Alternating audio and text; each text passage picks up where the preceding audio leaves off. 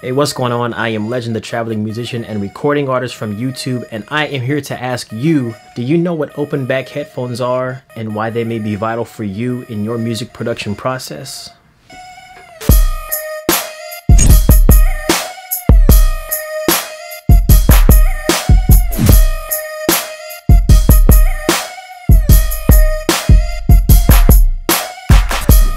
So I was recently sent a pair of open back headphones by Sennheiser from the company called Massdrop who wanted me to do a brief overview of their product for a separate campaign. So I decided this would be a perfect time for me to do an unboxing and explain what the differences and benefits are of using open back headphones versus the traditional closed back headphones. Now I'm going to go ahead and take these out the box. These are the Sennheiser HD58X provided to me by Drop.com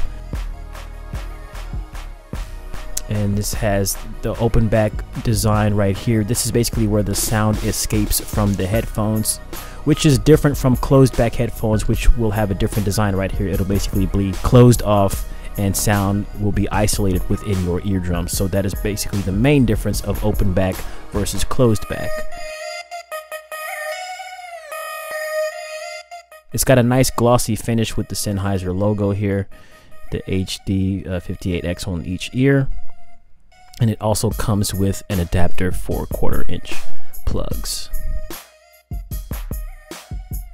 For the longest time, I was using closed back headphones for all of my music production, but it wasn't until I discovered open back headphones where I truly figured out their significance in my music making process and my whole workflow completely changed. So when I started using open back headphones in my creative process, I noticed that my sound and my mixes and my songs became a lot more free and opened because normally with closed back headphones, while you do get a more isolated sound, your sound also tends to suffer from a more closed off, muffled sound because of that isolation. But with open back headphones, there is no barrier to keep the sound inside. So basically the sound that you're hearing is a lot more free flowing and open.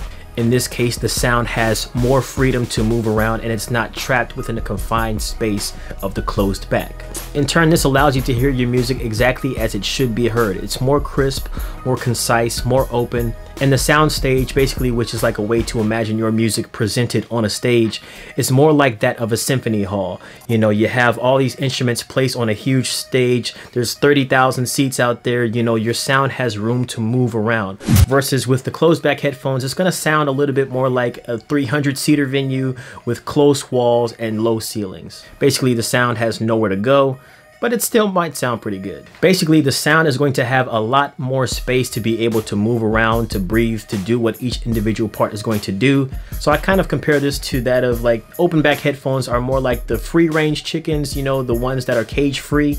It's going to be better quality versus the closed back headphones are more like the ones that are stuck inside the cage that people don't really want you to eat. So it's because of this basically now that I use open back headphones to mix and master all of my records so that once the listener hears the music, it's basically exactly as I intended for them to hear it. So if you want to know more about open back headphones and why they can be beneficial to you in your music creation process, be sure to click through to drop.com where audio experts will explain in great detail exactly what these things can do and why you should be using them in your music production. That's all folks. Until next time, stay legendary. And they wanna know, they wonder why I'm still here.